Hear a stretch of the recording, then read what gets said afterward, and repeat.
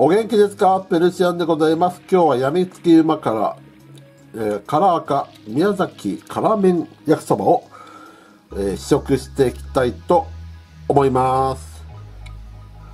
今ね、これからね、えっ、と、熱湯を4分入れたいと思います。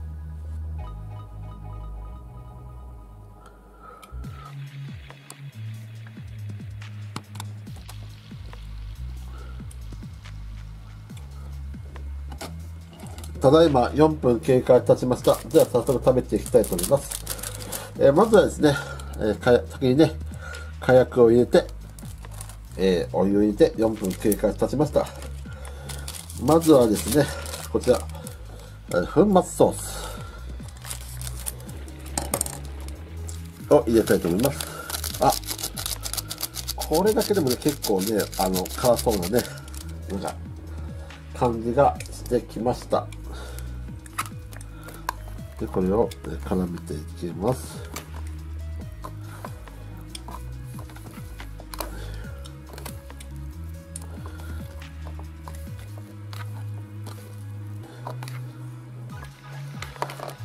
で、このね、液体ソースも加えてみます。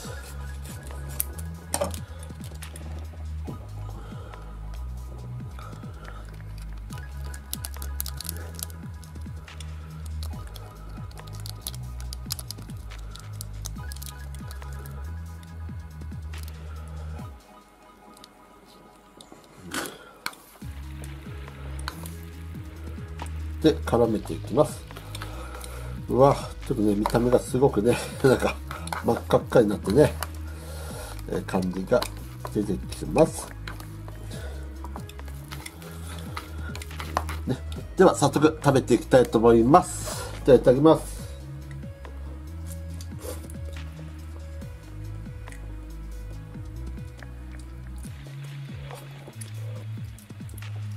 うん。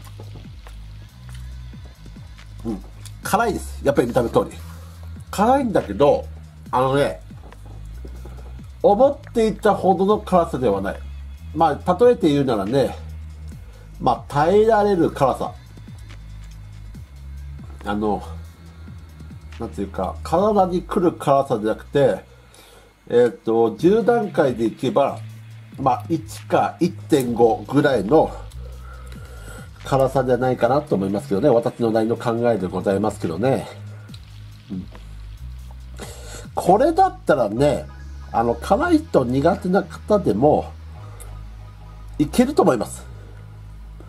ただね、えー辛いとが、辛いのが好きな方はね、これよりもね、あの、ラー油とか、あと、七味とか、入れても、あの、大丈夫かと思います。